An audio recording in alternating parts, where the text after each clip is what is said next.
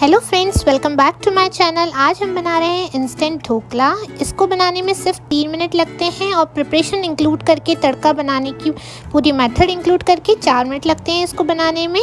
तो अगर आपको इसकी रेसिपी देखनी है तो मेरा वीडियो पूरा एंड तक देखिए. और अगर आपने मेरे चैनल को सब्सक्राइब नहीं किया है तो जल्दी से कर लीजिए. चलिए हम इसे बनाना स्टार्ट करते हैं. इसके लिए लिया है मैंने इंस्टेंट खमन ढोकला मिक्स अगर आपके पास मिक्स नहीं है तो आप इसको नॉर्मल जो हमारा प्रोसेस होता है, जैसे बेसन, उसमें थोड़ा सा सोडा नमक यूज़ करके भी बना सकते हैं। तो ये मैंने इंस्टेंट मिक्स को एक बोल में निकाल लिया। अब इसमें मैं डालूँगी थोड़ा सा नींबू का रस और थोड़ा सा नमक। ये ऑप्शनल है, अगर आपको नहीं डालना है तो आप स्किप भी कर सकते हैं। हल्का सा नमक। अब हम इसको पानी डाल के इसका अच्छा सा आ, स्मूथ सा बैटर बना लेंगे। बहुत ही पतला बैटर भी नहीं बनाना है हमें। और इसको अच्छे से मिक्स कर लीजिए कि कोई भी लम्स ना रहे इसमें। बहुत ही जल्दी बन जाता है ये आ, जो मेथड है मैं आपको बताने वाली हूँ। अब आप एक बोल ले लीजिए। मैंने यहाँ पे कांच का बोल लिया है। आप कोई भी बोल ले सकते हैं। अब इसको आप ग्रीस कर लीजिए ऑयल लगा के। ग्रीस अच्छे से करिए तो जो हमारा ढोकला है जब बन जाएगा तो वो स्टिक नहीं करेगा तो ग्रीस आप अच्छे से करिए इसको। अब इसमें हम जो बैटर हमने तैयार किया है वो पो कर देंगे पूरा। यहाँ से मैं फिर इसको थोड़ा सा आप टैप कर लीजिए। तो ये जो नीचे अगर बबल्स एयर बबल्स हैं तो वो हट जाएँगे। और जो हमारी जो क्लिंग रैप होती है ये हम यूज़ करते हैं इससे आप आ, इसको कवर कर दीजिए अच्छे से। और अगर आपके पास कोई ऐसा ढक्कन है जो माइक्रोवेबल सेफ़ है तो आप वो भी यूज़ कर सकते हैं।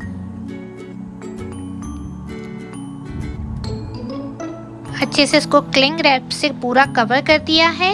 यहाँ पे मेरी चाय बन के भी रेडी है और ये ढोकला तीन मिनट में बन के रेडी हो जाएगा। इसको हम बनाएँगे माइक्रोवेव में।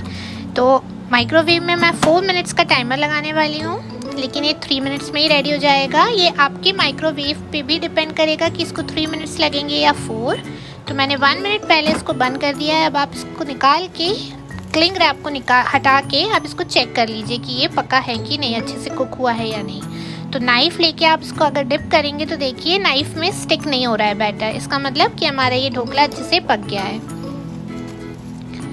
और अगर आपको इसकी फ्लफीनेस देखनी है तो आप देख सकते हैं। आप इसके लिए कांच की जगह कोई भी बोल यूज़ कर सकते हैं, लेकिन वो माइक्रोवेबल सेफ़ होना चाहिए। तो चलिए इसको ठंडा होने देते हैं और तड़का रेडी कर लेते हैं। यहाँ पे मैंने कुछ हरी मिर्च और कुछ करी लीव्स और राई ली है। थोड़ा सा नमक भी हम डाल सकते हैं। नमक अगर आपको यूज़ नहीं करना है तो आप स्किप कर दीजिए। अब मैं एक पैन लेके छोटा सा इसमें एक चम्मच तेल डाल के उसको हीट कर लूँगी। जैसे ही तेल गरम, और बीच में जो हमारी जैसे तेल गरम हो रहा है, तब तक जो हरी मिर्च है, उसमें आप स्लिट लगा लीजिए तो वो एकदम स्प्लिटर नहीं होगी। अब हम इसमें डाल देंगे राई गरम तेल में। जैसे ही राई स्प्लिटर होने लगेगी, हम इसमें डाल देंगे करी लीव्स और मिर्ची।